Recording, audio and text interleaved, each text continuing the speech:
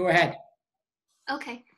Uh, welcome to the second talk of our lecture series of the trimester program. Uh, John Kujawa from University of Oklahoma is going to tell us more about modified trace. Thank you.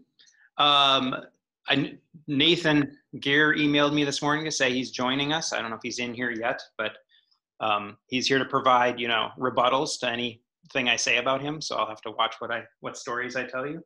Mm-hmm. Um, maybe, maybe over the break I can tell you some good stories. He and I shared office for several years, so we know each other really well. Um, I will tell you one quick story. I remembered uh, that year when he was in Bonn and I was here and we were working on this project because we're old. That was 10 years ago.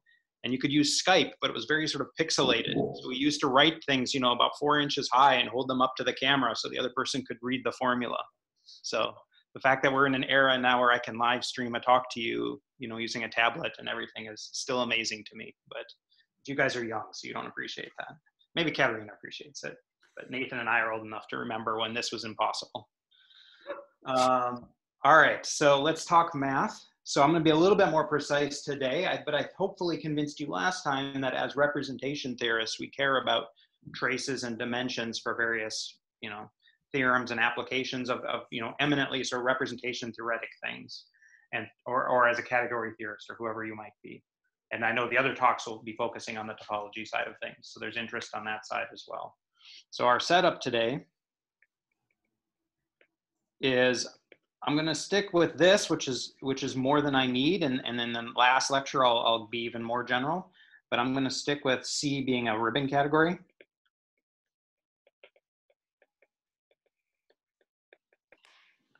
And so let me just tell you a little bit about what that is. So first off, it's a monoidal category. So we have a tensor product and we have a unit object like we talked about last time.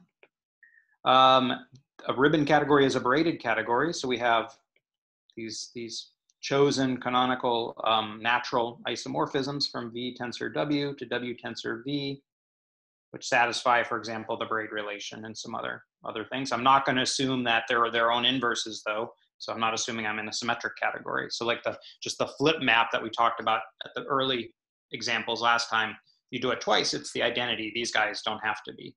So in particular, like you could be looking at representations of a quantum group or something, and, and those have braidings, which are not um, symmetric. Um, we're gonna have a duality,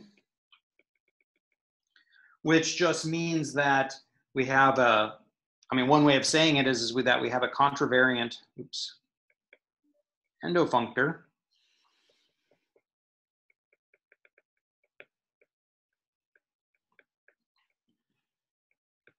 Which comes with um, these evaluation maps. And co-evaluation maps, which have some, you know, naturality and so on attached to them. Uh, what am I doing? I want one to go to V tensor V dual.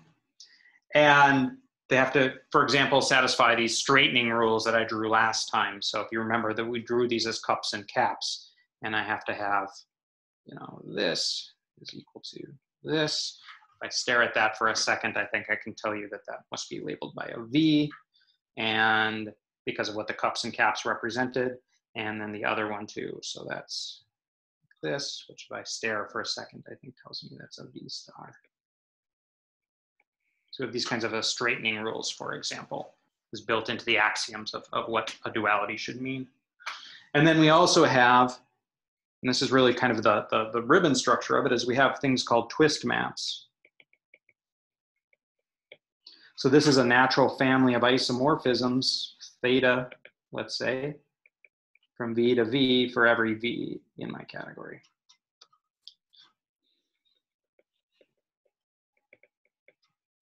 And again, there's some compatibility that's required with my other structures that I have in front of me. So for example, um, theta of the dual should be the dual of the theta 4v.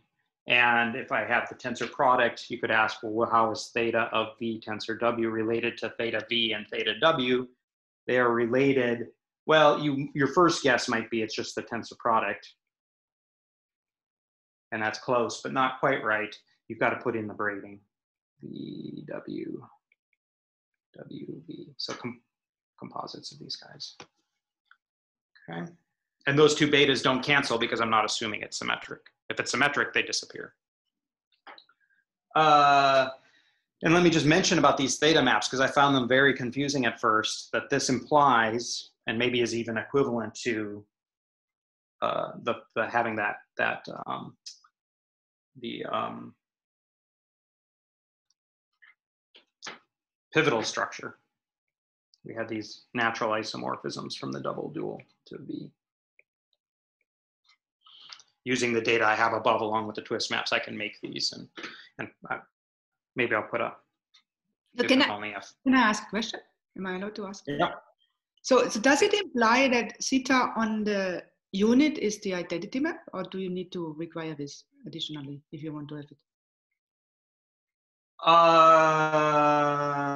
Um, probably it doesn't require it out of the gate. Okay. Um, no, because I think I could just scale that and then scale all the other thetas correspondingly and still get another set of twist maps. Okay. Mm -hmm. um, I, but I'm glad you asked that because that reminds me to say that we're going to assume that if you look at the endomorphisms of the unit object, which I'll be calling K, this is going to be a field. And uh, so this is assumption, but anyway, yep. Okay, sorry to interrupt, but uh, if you have, uh, if you take for V and W just the uh, the trivial object, can't you then just imply that it would have to be the theta of the trivial object would have to be one? I mean, but anyway, it's not important. But just maybe, maybe. But I, I think you. Anyway, sorry. You're probably right. Um, yeah, probably this compatibility because the the, the braiding of, of, probably has to be the identity on the trivial. Yeah, uh, yeah. So then you're basically saying it squares to to one. Uh, or it squares to itself rather, and you don't want it to be zero. Um, oh, yes, and the other thing I was going to say um, is that we're going to assume that that's a field, and, and we're assuming that C is k-linear, meaning that all Hom spaces are, are k-vector spaces, all our compositions and tensor products are k-linear in, in sort of the obvious sense. Uh, the reference I gave last time, which I will repeat here, is Kassel's book,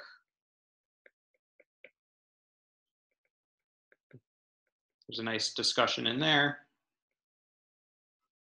Oops. And another very good reference, which really does everything in detail, is Turaev's book. It's probably misspelled, but that's okay. Um, it's quantum invariants of knots in three manifolds. And in particular, he writes down in a pretty convincing to an algebraist way a proof of why, as I said before, that you can do these diagrammatic manipulations on more on the pictures and that that is makes sense on the morphisms. So it does everything by generators and relations and does things pretty carefully. So I always look at that when I get confused about which exactly which which relations I need to be checking. All right. So as I was just saying, there is a diagrammatic calculus for these categories, meaning what I was just saying, which is there's a way to draw morphisms as pictures so that isotopic pictures give you equal morphisms. So like the straightening rule up here is just, these are just saying you can straighten these strands, but I'm really saying a certain composite of morphisms equals another morphism on the nodes.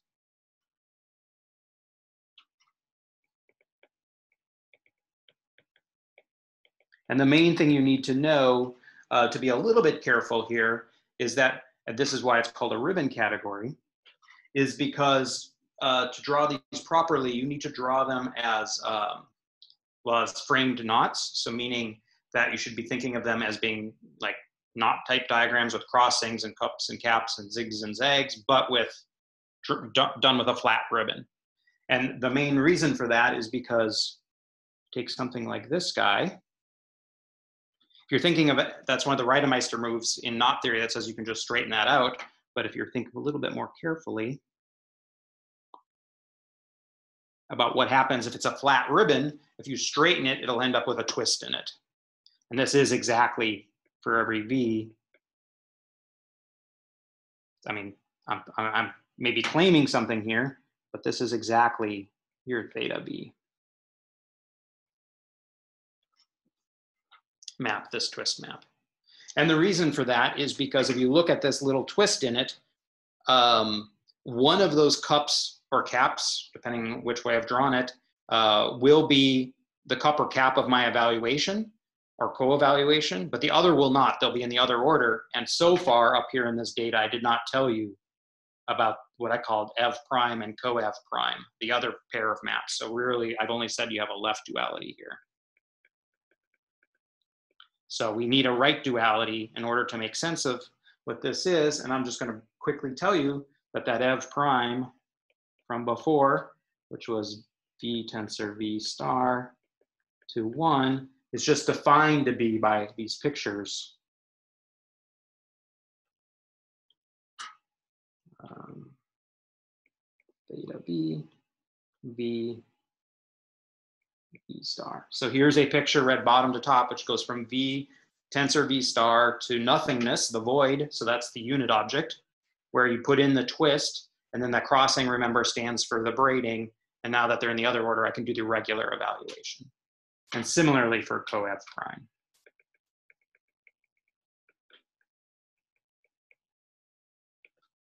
You can, you can figure out what that should be.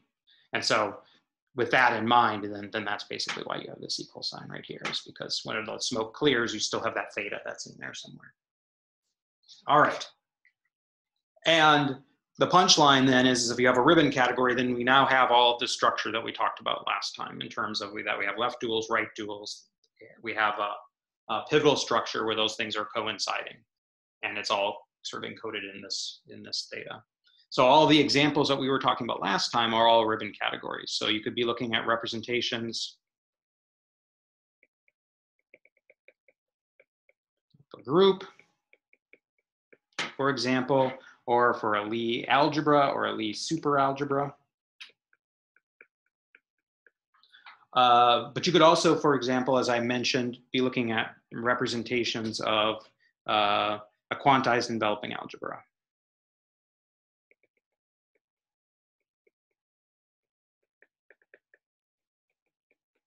Where you can use the R matrix to define your braiding, uh, but it now won't be an involution. And that's kind of what makes it interesting if you're a knot theorist, because you don't want overcrossings and undercrossings to match, because that's no good for knots. Um, you can add to this list, you know, every time you have a Hopf algebra, that gives you a tensor product in duals. To get this extra structure, you need a little bit of extra, so whatever that is.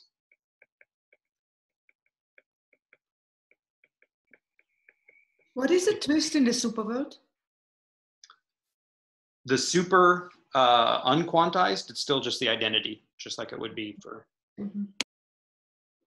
for for um, yeah, I should have said that for the case when we have um, any of these unquantum examples here, which are symmetric categories, where the, the braiding is its own inverse, the thetas are just the identity map, or could be taken to be the identity map.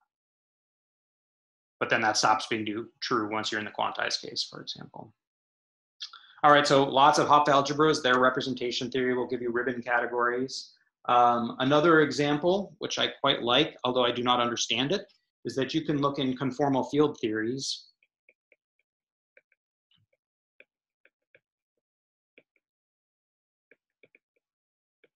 in mathematical physics. Uh, so the 1P minimal model, for example, was an example that we worked out way back when we did this paper. Um, I think I saw Jürgen Fuchs's name come up last time, so maybe he's around. But everything I know is a um, measure zero subset of what he knows because I've gotten it all from his papers. So anything physics related, you should go and be asking him. He, he's definitely an expert in this. Um, but there's some nice examples there. Um, certainly when I write grant applications, I always put that in up at the top so people think I'm doing something useful. Uh, the, another example, which will be of interest to some of you here, it, and a good one to keep in mind is diagrammatic categories. A lot of diagrammatic categories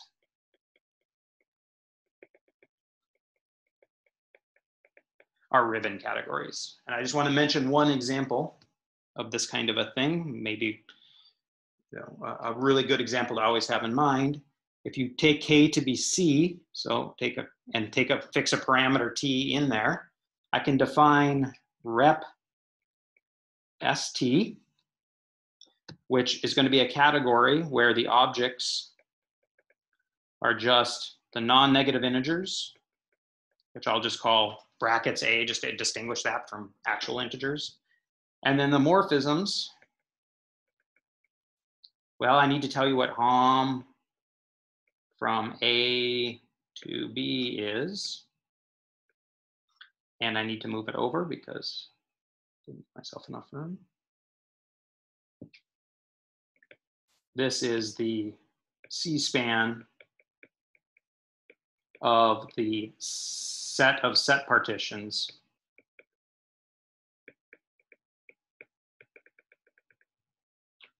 of 1 through A, 1 prime through E prime. So let me explain what that means in terms of actual pictures. So like if I'm looking at something from, I don't know, 3 to 5, then that's one, two, three. I'm just going to put those as dots down here and I won't even bother numbering them. That's just A is 3, B is 5. So there's five dots up there. And then set partitions are just you uh, a, partitioning of this set of, of eight vertices into subsets. And I'll indicate those by just drawing um, edges, which will connect together the, the subsets. So if I draw this edge and this edge, that's now a subset. Maybe this guy's a singleton, maybe this guy is connected to this guy, and maybe this guy is connected to this guy, something like that. And since all I care about is the subsets, any, any picture which has the same connected components is the same set partition. So I'm taking as my homs between three and five, for example, all the, it's a basis of these pictures and it's all possible um, linear combinations of these pictures. And then what is the composition? The composition is stacking of diagrams. Many of you have done this before, where you do a stacking of diagrams. And then if you have any connected components in the middle, you count them up and you take as a scalar in front, t to that power. So I'm not going to do a whole example because I think most of you have done this kind of game before. But if I wanted to compose D1 and D2, two diagrams, then I stack D1 on top of D2, and then I clean it up to get a single set partition according to connected components, and I put a T to the number of connected components that got deleted out of the middle that weren't connected to the top or to the bottom.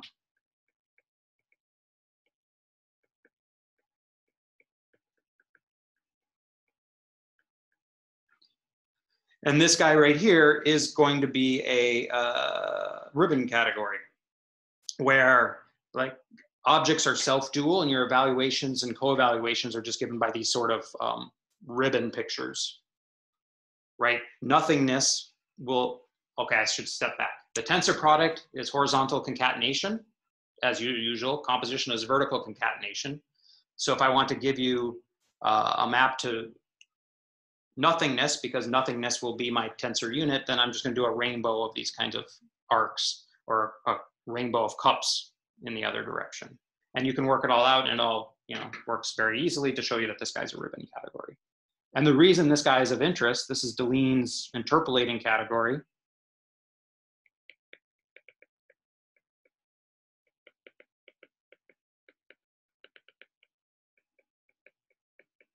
And the reason it's of interest is because if t is actually n and is a non-negative integer, it could have been anything in the complex numbers, but if you happen to pick 17, then there is a functor of monoidal categories from this guy, this purely diagrammatic guy, to the representations of Sn mod. You have a, a full functor, and if you go to Karoubian envelopes, then you get an equivalence up to modding out by some kind of a kernel. And I wanted to mention that in particular that if you have a monoidal functor like this, you could take the objects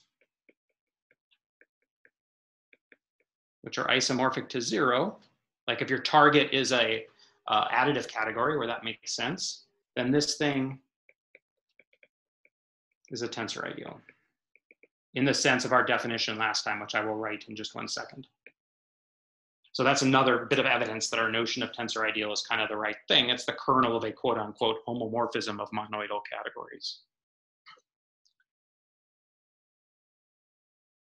And there's lots of other examples, but maybe we'll get on back to the general theory a little bit since I've pointed us in that direction. Let's first do the definition of that ideal. So if C is a ribbon category, we're going to define I guess I could write the ideal symbol even. It's an ideal. If it's a full subcategory such that one, it had the ideal condition, so J in I, X in C implies J tensor X is in I, and two, it had this direct summands condition or this, this retract condition. So J in I, U in C, and if you have an alpha from U to J, a beta from J to U, then if alpha composed with beta is the identity on U, that implies that U should be in I. And it's an easy little check then that the kernel exactly satisfies this. And it kind of explains to me at least why number two should be one of my conditions because if I have a direct sum of things and I do my functor on it, if it's an additive functor, um, the result's going to be isomorphic to zero if and only if the two terms were equal to zero. So summands are going to go to zero if, if a guy goes to zero. Basically because I can't subtract in a category. That's somehow how I think of it. All right. Now we can get on to what uh, modified traces are. So definition. Let I be an ideal of C, always a ribbon category, so I won't keep repeating myself there. A trace, or a modified trace if you like, on just the ideal is a family of maps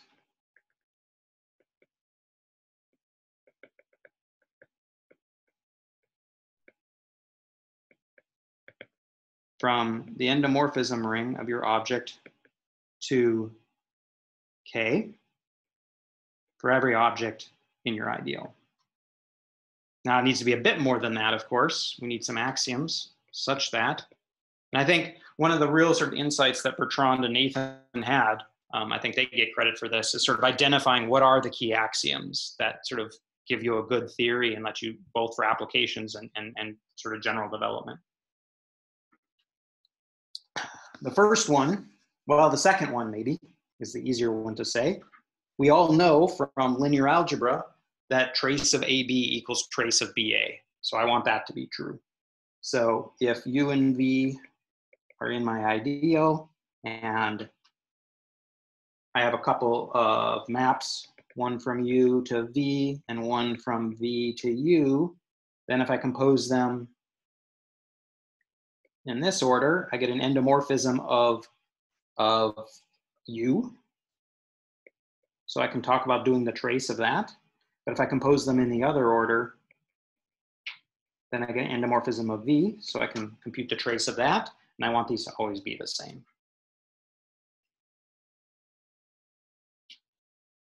And then number one, the one that was a little bit less obvious to me, is you need some compatibility with the tensor structure. So if U is in I, and X is just anything in your category, then U tensor X will be a thing in your ideal because of the ideal condition. So if you give me an f, which goes from it to itself, there's two things I could do. I could either take it as it is, in which case there's a trace map for u tensor x, and I could compute that number. The other thing I could do is I could take that f, now I'm gonna use the diagrammatic calculus because it'll be easier to explain. F goes from u tensor x to u tensor x, and instead of writing one strand here for u tensor x, I'm gonna write two strands, one labeled by u, one labeled by x. Remember, side by side means concatenation, so that's the tensor product. Same thing up here. And because I have cups and caps, evaluations and co-evaluations, I can close that side off, and now I get an endomorphism of u. u is another thing in my ideal, so I want t of u on that guy to equal this. Okay. It's maybe worth reminding you that the categorical trace, maybe I'll put this in like a green or something, that when we did the categorical trace of a map, it turned out to be just closing up that picture and taking that as an endomorphism of the unit object. And if I had F followed by a G, that's a, well, that looks terrible now.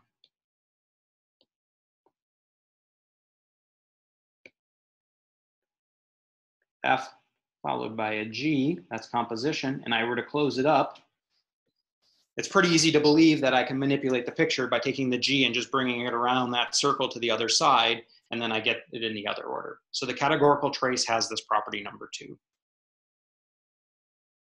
And the same thing for the second one. The categorical trace would take, on the right side, would take this picture, which it just sees the strands coming from and out of U and close it up like that. But that's just the same thing as taking both strands from U and X with the F in between and taking them around and closing them up. So these things are like transparently exactly the same thing when you're talking about the categorical trace. So what I'm trying to say here is the categorical trace definitely has these two properties and somehow Nathan and Bertrand saw that these were the two key properties of the categorical trace, which made everything home. Let's go back to blue. Okay. Um, so the question then becomes, when do you have interesting, non-trivial, non-categorical traces? And that's kind of what we want to get to today. That plus a little bit of applications to representation theory. Well, how are you going to come up with such a thing? This is kind of horrifying because you have to come up with linear maps for every object in your ideal. There could be infinitely many. There's some compatibility here that you see. Like, I wouldn't want to do that. So definition, oops. I'm sorry to interrupt, but um, it might be a good time to take a break. Let me give this definition and then I'll take, take, take your offer of a break. I'm going to give a totally seemingly unrelated definition, um, which will turn out to be crucial to the whole thing. So let me just do that. Uh, where did he go? Yes. If J is an object of C, we call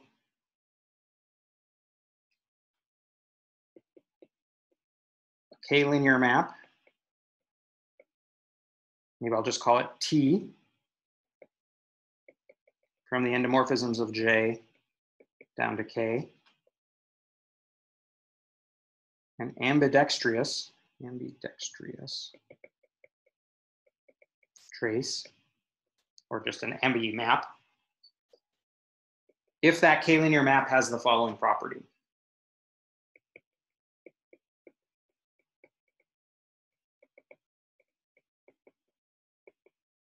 If for every endomorphism of J tensor J, well, if I have an endomorphism, J, J, J, J, there's two things that I could do.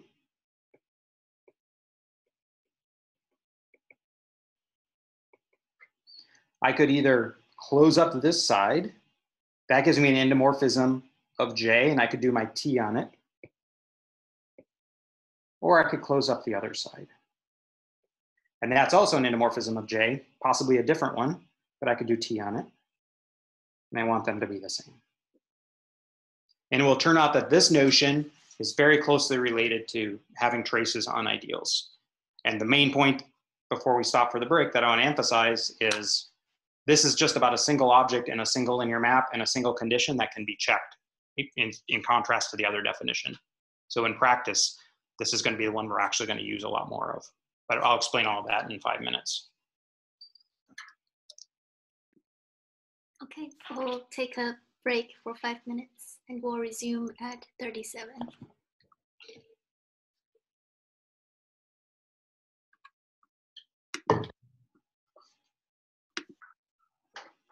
Are there any questions for our speaker?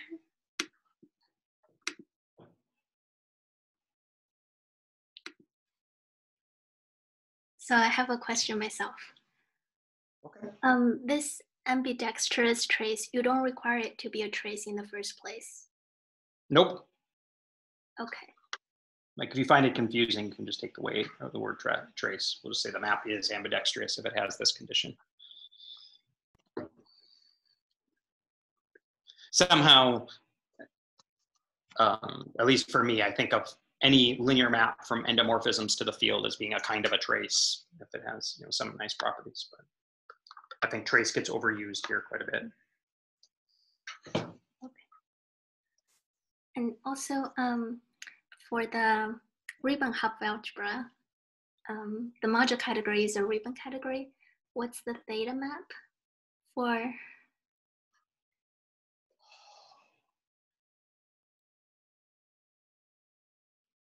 The short answer is I don't remember.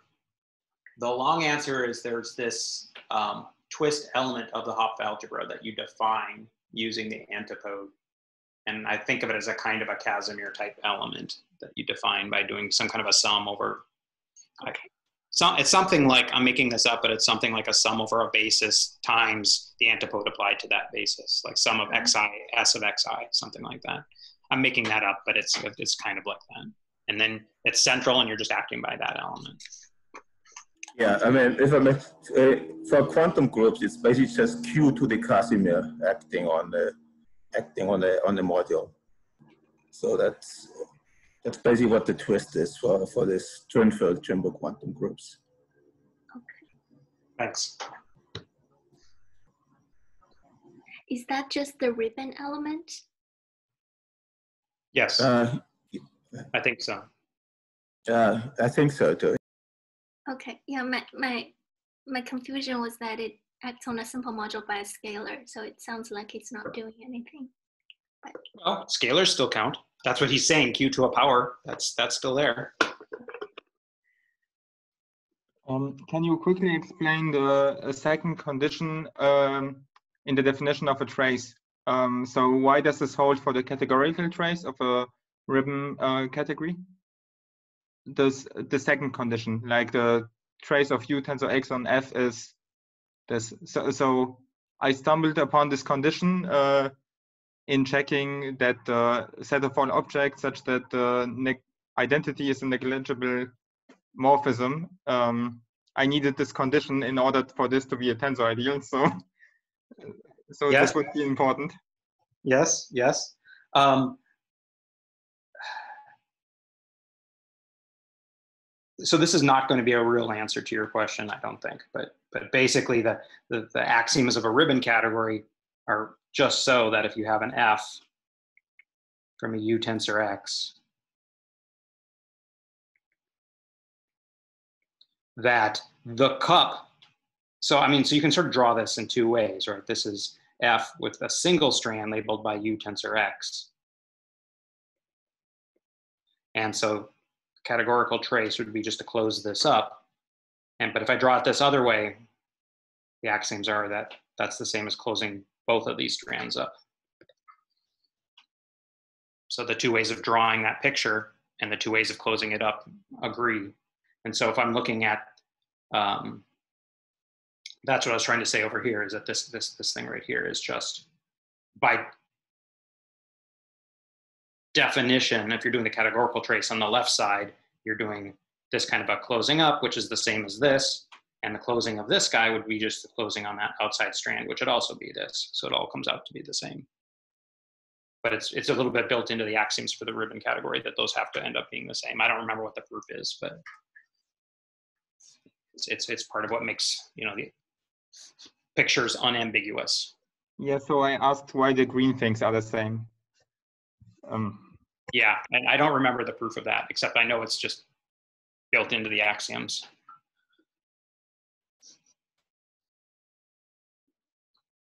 So we have to go look in Kassel's book. He'll tell us.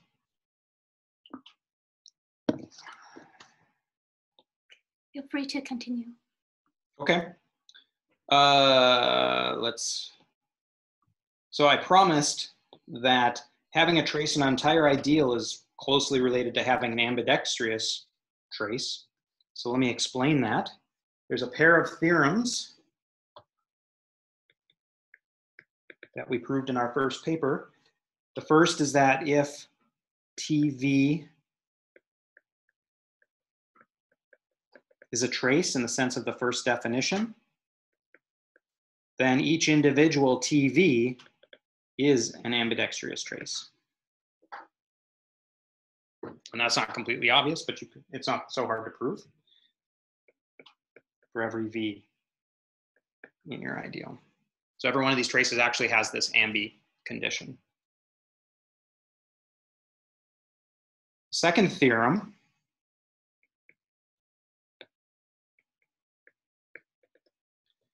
is, is basically a converse to that. And that says if T from endomorphisms of J to K is ambi, then there is a unique way to extend it to the ideal generated by G. So remember I wrote I sub G for the ideal generated by G. So everything that's a direct summand of J tensor somebody.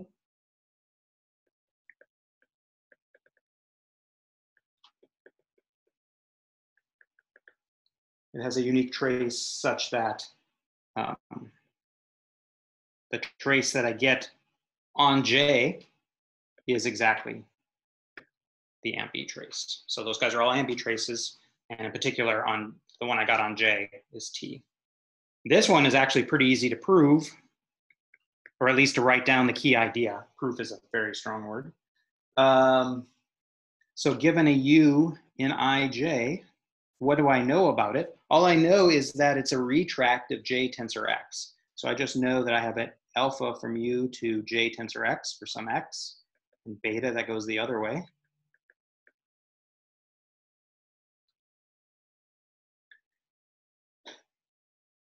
And so I have F, let's say, from U to U. I need to define a scalar from this guy. Well, I have beta, which goes from J tensor X to U. F goes from U to U. Alpha goes back to J tensor X. So I can make this picture by doing that composite of three maps. And then I can just, when I don't know what to do, I just close it up. I don't know what the heck is X is, so I'm gonna close it up. That now is an endomorphism of J. So I can do T on it. And this by definition is what T of U of F is going to be. And the point here that has to all be checked is A, that this is well defined because there could be lots of alphas and betas and lots of X's. And B, that once you do have a well defined family of maps that it satisfies these trace conditions. So this is what I was saying a minute ago is that if you give me an ambi map, that just propagates out and gives me a trace across the entire ideal. So that that's makes finding traces a doable thing. And that's why I have to tilt up my shirt. Nathan will be proud. I'm wearing my ambidextrous t-shirt. I bought these uh, for us when we were working on this project. So ambi's a pretty useful concept. And that in fact is, at least in the initial stages, most of the traces that we could come up with were because we found an object and a map on it, endomorphisms that, that were satisfying this ambi condition. Um, so let me say once you have a trace on an ideal, like for example, maybe you've just used this theorem, but once you have a trace on an ideal, you have a notion of a dimension for the objects on that ideal where you just take the trace of the identity map, just like we did last time. So I'm going to talk about the dimensions of objects in this ideal, but it's with respect to the trace of the identity where the trace is whatever my trace on the ideal is. Oh, and I should have also pointed out, it's obvious, but it's worth saying explicitly. Obviously, if t is non-trivial, this equation tj equals t means my trace is not trivial. Maybe it's not non, maybe it's trivial on some of the ideal ij, but there's at least some parts of it where it's non-trivial. So this is giving me non-trivial traces. You can always do zero, and that's stupid, but you can do it. All right, so let me write down a theorem which tells you some of the things that you can do here. So if C is abelian and J is ambi, so that ij has a trace, I mean, those two are basically equivalent. And let's assume that J is simple in the sense that its endomorphism ring is just the field. And I'm going to need to assume that evaluation map on J dual tensor J down to the unit object is an epimorphism.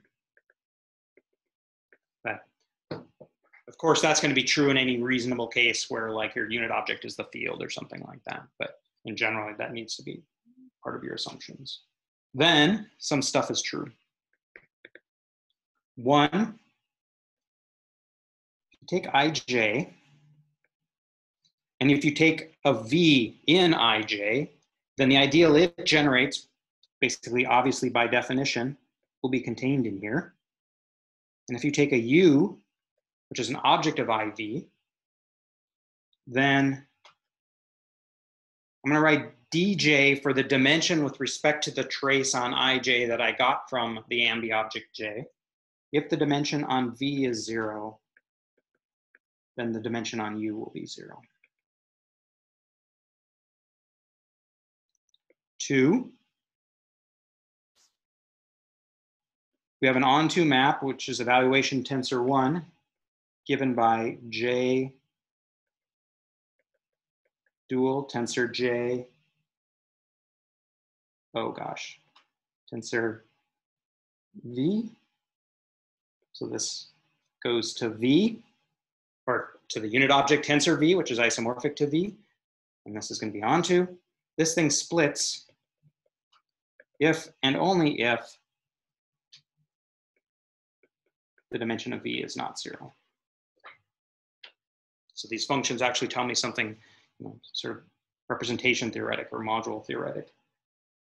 And number three, if J is not projective, but P is projective, then P will be in the ideal generated by J. We talked about this a little bit some folks last time, that the ideal of projectives will be contained in every ideal, and that's just what I'm saying right here. But it will actually will be a proper ideal And in particular, I know that the dimension of these guys will be zero. So let me take this theorem and recast it back into the classical setup. So when we take J to be our unit object, then the um, map, which the endomorphisms is K, so I can just take a scalar to itself for the unit object, and that will provide an ambidextrous trace that's like trivially easy to check, and that will give me exactly the categorical trace, and that will exactly give me a dimension function, which is the categorical dimension. So for example, for finite groups or for Lie superalgebras, this is the ordinary dimension and the ordinary super dimension. So we're all the way back down to the original thing. And if I'm in that case, and I write down what these theorems are saying, it's saying that if the dimension say as a vector space or the super dimension if it's a super space of that v was zero, then the dimension of the u had to be zero for any summand u of v tensor x for any x. Two is saying that this map j star tensor j to the unit object, which is maybe it's my trivial module, splits. That is to say, the trivial module is a summand of j dual tensor j, if and only if the dimension of j is not zero. And number three, it's telling me that the dimension of any projective is equal to zero. And for finite groups, for example, number two is just this theorem of Benson and Carlson that we talked about at the very beginning last time. And number one was this fact that I mentioned before, which is also well known in that community that if you have an indecomposable guy who has dimension divisible by p, then all the summands of V tensor anybody will also have dimension divisible by p. And number three is another one, which is that the projectives always have dimension divisible by p. Or I could have said super dimension, super dimension, super dimension. And these are also less well known maybe, but they're also true.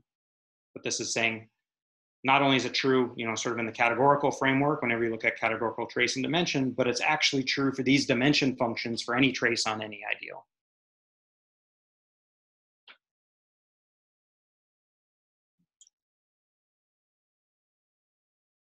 Right.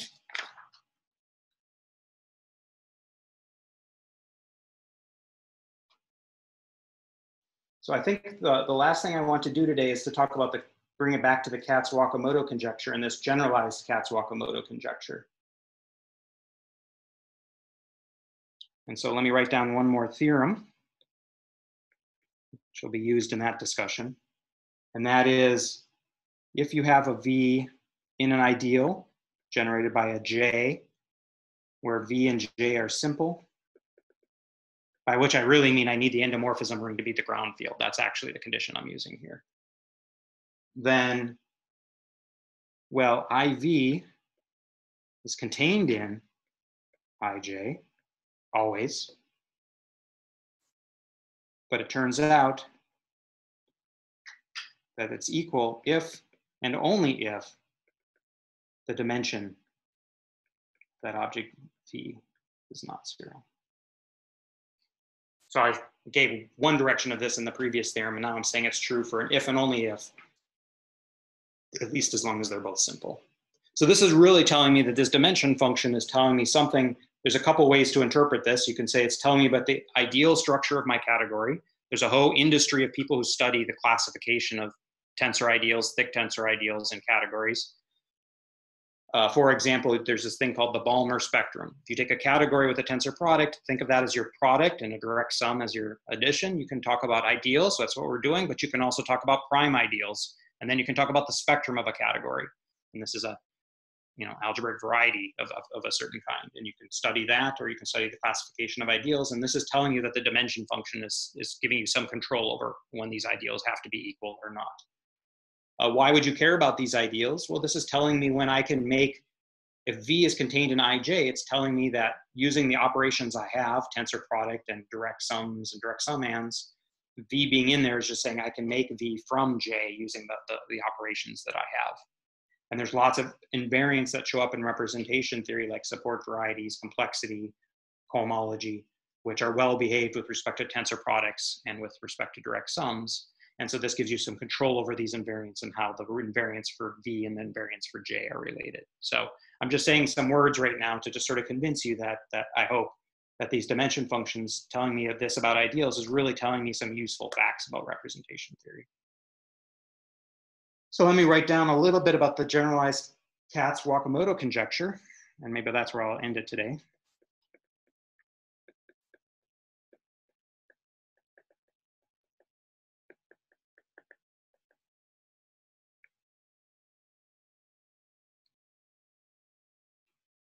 I have a little bit of space up here. So let me just translate the Kac-Wakimoto conjecture for you.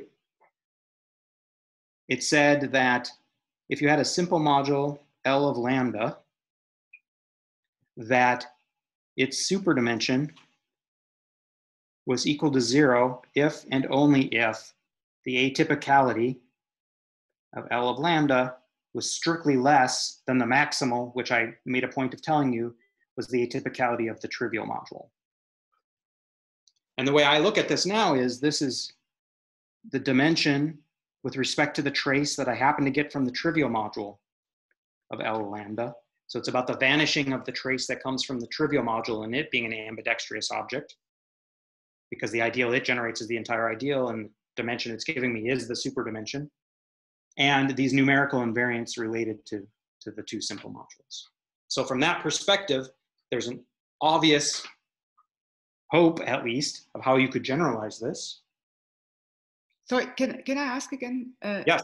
This atypicality of the trivial module, is this always the maximum possible atypicality? Yes. Yeah. Yes, certainly for the basic classical ones, which is the ones I was giving this conjecture for. You could just compute it every time and that's what it comes out to be. Only basic classical, okay. Mm. Yeah, that's how I'm framing this conjecture. Um, the generalized Kac-Wakimoto conjecture. So some of this we proved in our original paper. Some of it ended up getting proved by, by Serganova for GLMN. I proved it for OSP M2N using sort of some of her techniques. And so I think for the basic classical, it's more or less done. But at the point of, of when we wrote our first paper, at least, it was semi-conjectural. So number one, we conjectured that if the atypicality of L of lambda is less than the atypicality of an L of mu, two irreducibles, then the ideal for L of lambda should be contained in the ideal for L of mu. So in particular, if that's true, the atypicality is just a finite sequence of integers, so there should be a corresponding chain of ideals, one contained in the next. Two, each of these ideals, mu, I guess, has a non-trivial trace. Or because of the discussion I had earlier, equivalently, each of these L mu's has a ambi, ambidextrous uh, linear function. Three, consequently, I have a modified dimension function just for this ideal coming for that trace, which is only defined on this ideal. And that dimension function on an L of lambda, if number one is right, whenever the atypicality is less of L of lambda is less than the atypicality of L of mu, the ideal of L of lambda is contained in the ideal of L of mu. So in particular, L of lambda is contained in that ideal um, for L of mu. So in particular, I can compute this dimension. And this thing will be not zero if and only if the two ideals are the same. Sorry, what is written in two? L. The ideal, each of these, I, every irreducible gener generates an ideal. Number one says there's a chain of them, and then number two says every one of them has a non-trivial trace. In, in the sense of my definition from earlier today.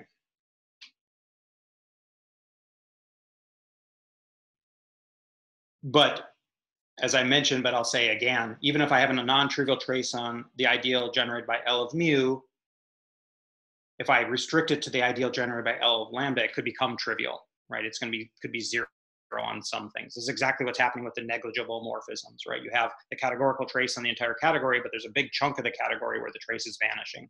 That could happen here with respect to these two ideals. Okay, so the what I'm saying here is, is that you really only have um, a chain of ideals. Call this I0, I1, up to, I don't know, IR, which is the entire category of finite dimensional representations, where IK is generated by any one of the simple modules of atypicality K. because they're all equal as long as they have the same atypicality. And that, and also that every one of these ideals has a trace, a non-trivial trace.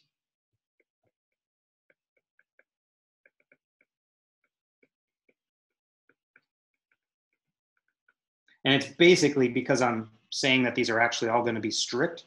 If the dimension vanishes, that's exactly telling me that um, this quote unquote negligible morphisms for one ideal are just going to be giving me the, the next ideal. So corollary to this, oh, I should say, I mean, so the, I hope that you look at this and see the Kac-Wakimoto conjecture. If L of mu is the trivial module, then the ideal it generates is the entire category. So of course, every module is contained in there. It has the categorical trace and the dimensions supposedly supposed to be not zero if and only if those two ideals are equal.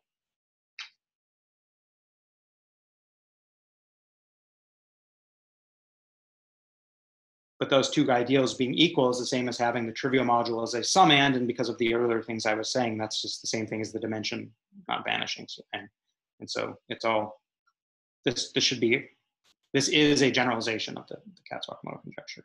So it's a theorem now. And as a corollary to this, for example, for GLMN, where it's a theorem, if L of lambda and L of mu have the same atypicality, which recall that's just a numerical invariant that I compute using the root system and the lambda and the root system and the mu. So these are just some numbers that are not that hard to compute. Then L of lambda is a summand of L of mu tensor sum X, because it's in that ideal, and vice versa.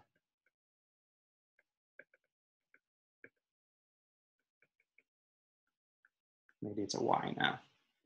So this was used in a crucial way in a paper with myself, Boe, and Nakano, where we're computing some of these invariants that I mentioned, complexity, support varieties for the irreducibles. And this is exactly telling me that all of these invariants are the same for all of the irreducibles of the same atypicality. So suddenly from having infinitely many modules that I have to think about, I can just pick my favorite one of atypicality five and work with that one. So this was crucial to being able to compute these invariants. And this is a purely, I hope you look at that and say, well, that's a purely representation theoretic statement, but I don't know of any way to get to it without thinking about all this categorical modified dimension stuff. So, if and only if? To... Yes. Because if, if, if both of these are true, that says the ideals are equal. Ah, yeah, okay. Mm -hmm. So by this if and only if. Mm-hmm. It's telling me that the dimension is, is, is non-trivial, which,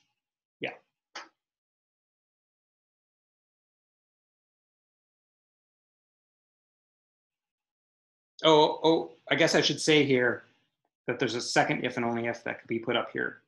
This, this, this non-vanishing or is equivalent to the ideals being the same, but it's also equivalent to the atypicality of L of lambda equaling the atypicality of L of mu. That makes it a little more explicit that really it is just the Kac-Wakimoto conjecture generalized.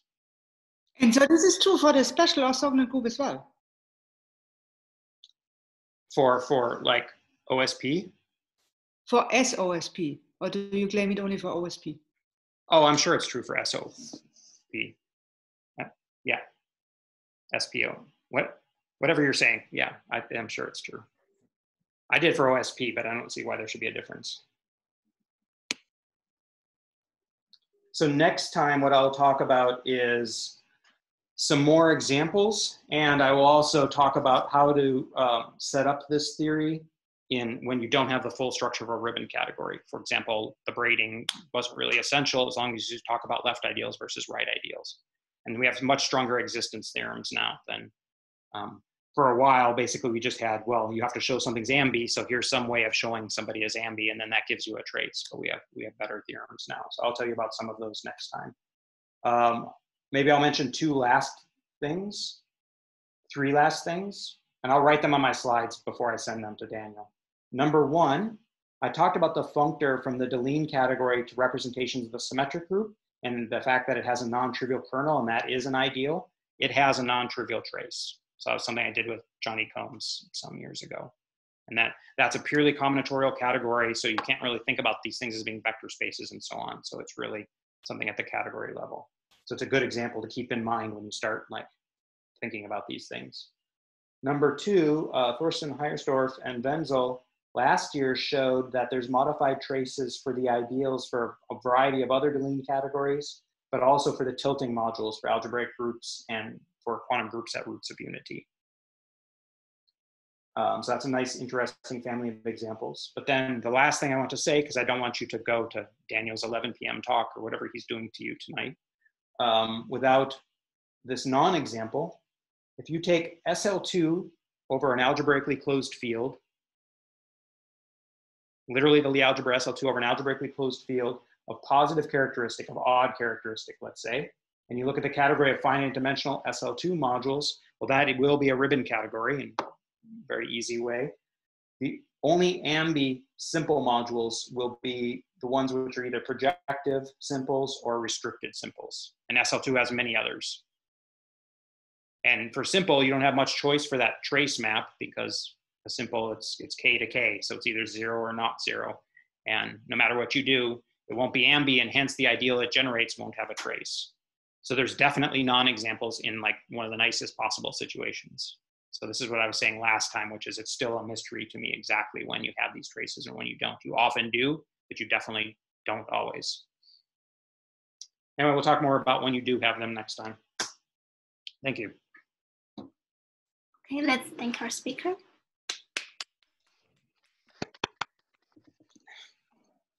Um, are there any questions?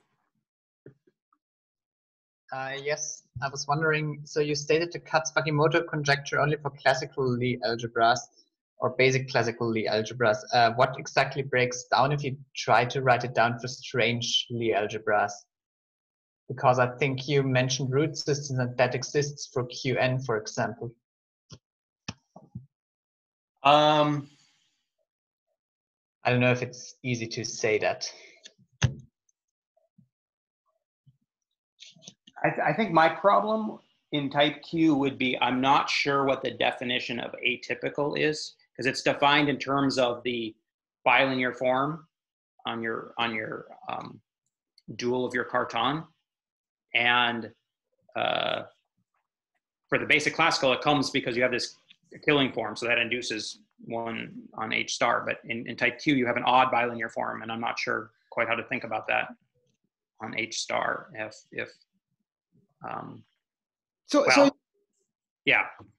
John, you Right. could you could interpret atypicality as the Loewy length of a projective. So the, the, the atypicality of a, of a, of a weight lambda is the Loewy length of the projective cover of L lambda. Okay. And Sure. then you can define this, this atypicality for Qn. Mm-hmm. And I think your argument should go, just go through. The old argument.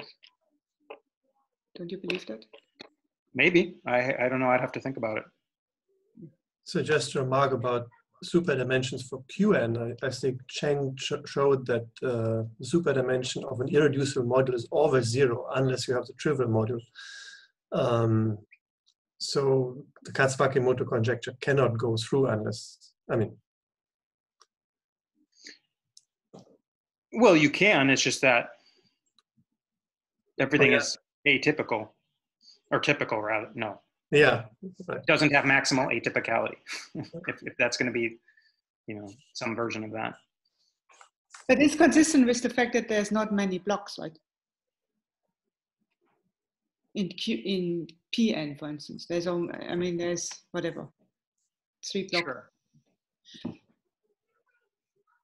No, it'd be it would be a good question to think about. I, I I didn't quite know how to think about atypicality for Q and P, so I'd never. Well, maybe I have better ideas now because I've read uh, the WinArt papers and so on. So maybe I'll come back to that. But I mean, I should also mention for Pn, there's a characterization which irreducible modules have non-vanishing superdimension. It's due to Entova, Aizenbud, and Serganova. I don't, I don't know if it disagrees with any notion of maximal atypicality. But in principle, I mean, the superdimensions, or when they are zero or not zero, or what their value is, is completely known. yeah, I think for both Type Q and for Type P, there's a which is this result you're talking about right now.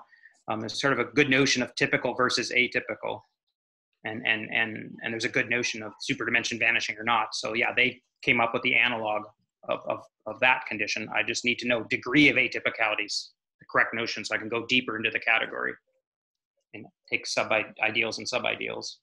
Um, but maybe maybe what Katarina is suggesting could be a thing there. Um, from the support variety point of view, Brian Boe and I did a paper on, on the Kac modules from type P and, and the complexity and support variety calculations we did there suggested a combinatorial definition of, of atypicality in terms of runs, we called them, but successive values of your, of your highest weight, which are equal. So it was just again term and just in terms of lambda, mm -hmm. as opposed to the representation theoretical one that Katerina was just describing. Maybe I can mention one more difference of this PN case with the other cases. So if you prove this generalized Kac-Wakimoto conjecture on modified super dimensions for GLMN or OSP M2N, uh, then the way to prove this is typically that you say you have one such modified trace on the projectives um, and then you use this ds functor or so to go down to, to projectives. This somehow doesn't work nicely, I think, for PN because uh, for PN uh, there are no irreducible projective uh, modules. So I think at least the argument doesn't work in the same way. Yeah, you, you should really be asking Thorsten. He knows more about things you can try that don't work probably than I do because he's thought about this uh, pretty recently what he was just saying was is for this generalized Kac-Wakimoto conjecture, the way you prove it is, is you get a trace on the projectives using the, the ambi notion that, that I was just talking about. And then I sort of alluded to it, but every time you have a monoidal functor from one category to another, you can use that to lift a trace from the target category to your domain category. And so in this case, he's talking about the Duflo-Serganova functor, which is a monoidal functor to, from Lie superalgebra's representations to ones of a lower rank. So you can, if you choose judiciously, you can push it down to the projectives for somebody of a lower rank. You have a trace there, and so then you can lift that back up through your functor to get a trace upstairs. And that's exactly what uh, Serganova did in her paper. But um, that depends on getting it downstairs at the bottom in the projectives, which Thorsten is telling us is no good. So how, how unique is a trace? If J is an irreducible, um, then the ambidextrous trace on the endomorphism ring is unique up to a scalar because it's just k to k, and then that determines it on the entire ideal. Now, if you give me some tensor ideal in general, could it have more than one? Uh,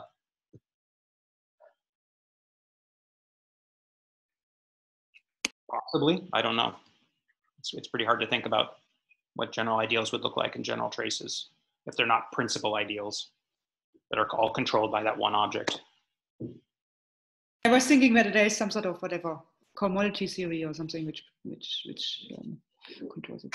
That would be great. I I don't know quite how to think about these. I really want to think about them as like, you know, uh, as as you know, I sort of mentioned this Balmer spectrum where you can associate a spectrum, which is, which is defined by ideals. And I really want to think about these as being functions on that spectrum, just like you would in algebraic geometry. So I don't know how to make sense of that. And I don't know how to make sense of what you said either, but I haven't given enough thought probably to, to have a sound opinion. But I definitely feel like I don't understand these traces conceptually quite as much as I need to, or wish I did anyway.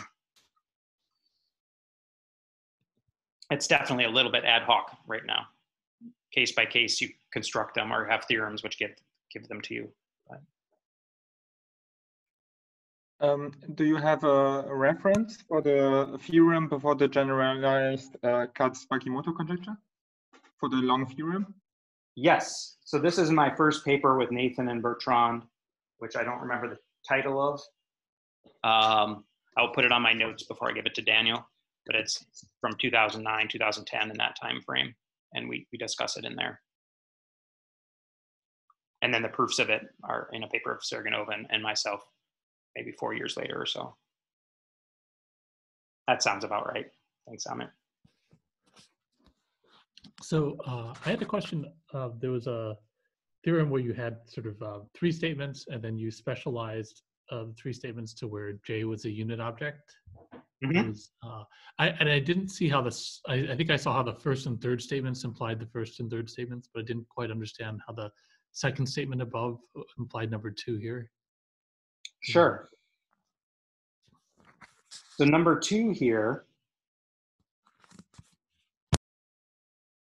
Oh, wait, wait, wait, wait, wait, wait. Oh, I'm, ah, I'm very glad you asked that because I think I swapped my V's and my J's as I was writing that. There, anyway. Uh, let's stare at this for a second. Yes, this is stupid. If J is, if J is the unit object, then I just have J, I just have unit tensor unit tensor V, which is V, and there's, yeah, the map is just, the, okay, that's stupid. Thanks for asking that. These, these all need to be swapped. Nathan should have yelled at me maybe, can't blame him for my foolishness. So this is um, J, J, V, V. So now if J is the unit object or the trivial module, I end up getting just evaluation going from V dual tensor V to the unit object. So the unit object, the trivial module being a direct summand of V dual tensor V is the same as the, the dimension not vanishing. Okay, thanks. Thank you for asking that because I wouldn't have caught that later. So yeah, let's fix that down here too.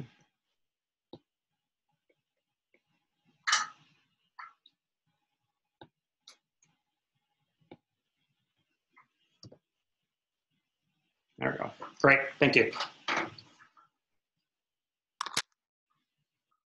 But then doesn't that change? So your assumption was that J dual tensor J surjects via evaluation, right?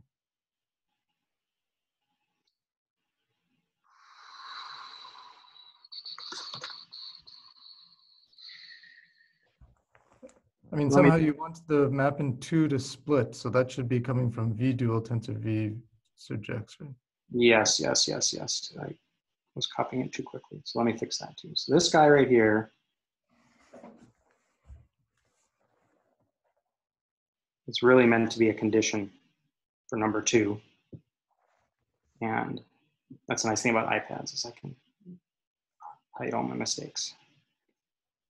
This is supposed to be B. So if that, and if that map splits, then I get it. Thank you. The problem is, is in number two, for unknown reasons in my notes, I swapped the V and the J, and I tried to swap them back very poorly on the fly. So I'm sorry about that.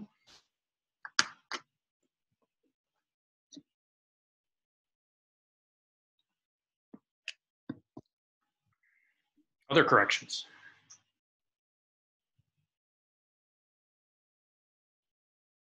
So uh, down, further down a little bit, when you take, not corrections, just Okay. When you take uh, your J to be the um, the the one, the trivial object, Mm-hmm. um, isn't that when you take the principal ideal generated by that, isn't that just the whole category? Yep. Oh, okay. So then the ideal generated by one will be the entire category.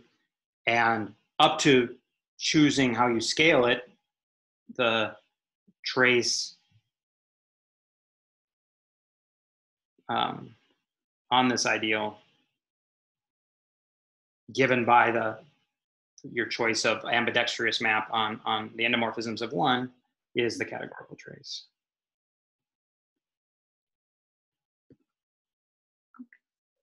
So this So- Right. So if I take so if so one is ambi, it's very easy to check, and you'll see that there's nothing really to choose because you have a map from endomorphisms of one, which is the field to itself, and then that propagates and gives you a trace across the entire ideal. And when you unravel the definitions, you're just writing down the categorical trace again. I see. And the and and the dimension that you're getting then is the categorical dimension, and that's what I was saying here. These dimensions are dimension or super dimension, as the case may be, because that is the categorical dimension in those cases.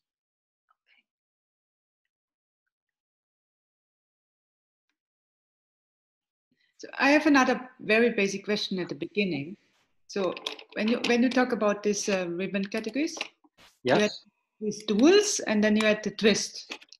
So Yes. my question is, are there natural examples where you have duals but no twist? I mean, that's a question maybe for everybody. Because I, I don't really, I, I, I don't have a good feeling under which conditions such a twist should exist or whatever. Well, you could absolutely have. Well, I'm not going to say a useful thing, but if you just look at Hopf algebras, there's a notion of pivotal Hopf algebra and there's a notion of ribbon Hopf algebra, and you can absolutely there's examples of, of one which is not the other, and a pivotal Hopf algebra has everything except for that. But is there anything which is, I mean, of, of course, I know you can construct some by hands, but is there any, any such examples which appear really in nature?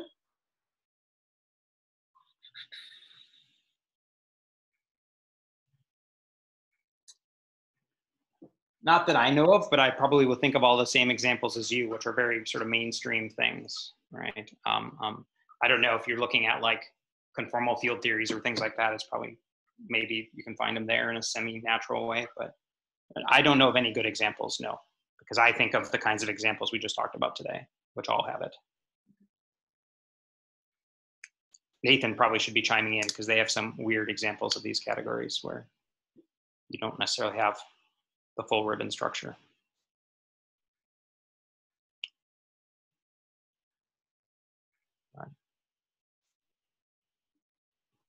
Maybe I'll think about that for next time if I can come up with a good example. Because uh, I think I, I, I know how to categorify twists, and I know that sometimes they don't exist. But I don't know.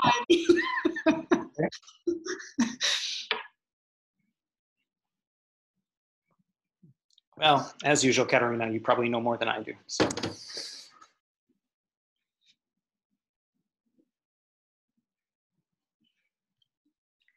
Okay, are there any more questions for our speaker?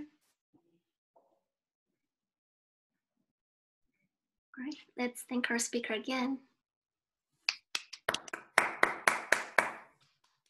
So I'll see you in 47 hours or so. Is that right? Uh, something like that, yes. Okay. Send me the slides. I'm interested in the last example you said. Okay. Yeah, I'll I'll add those examples and send send you those things in a little Slides bit. and videos should be online tomorrow, hopefully. All right. Thanks, everybody. Guys, in what was it? uh, 72 hours or whatever? I don't know. Uh, 47, no? 47, 47 is much better. Thank you very much. so see you in 47 hours. All right. See you guys. You guys.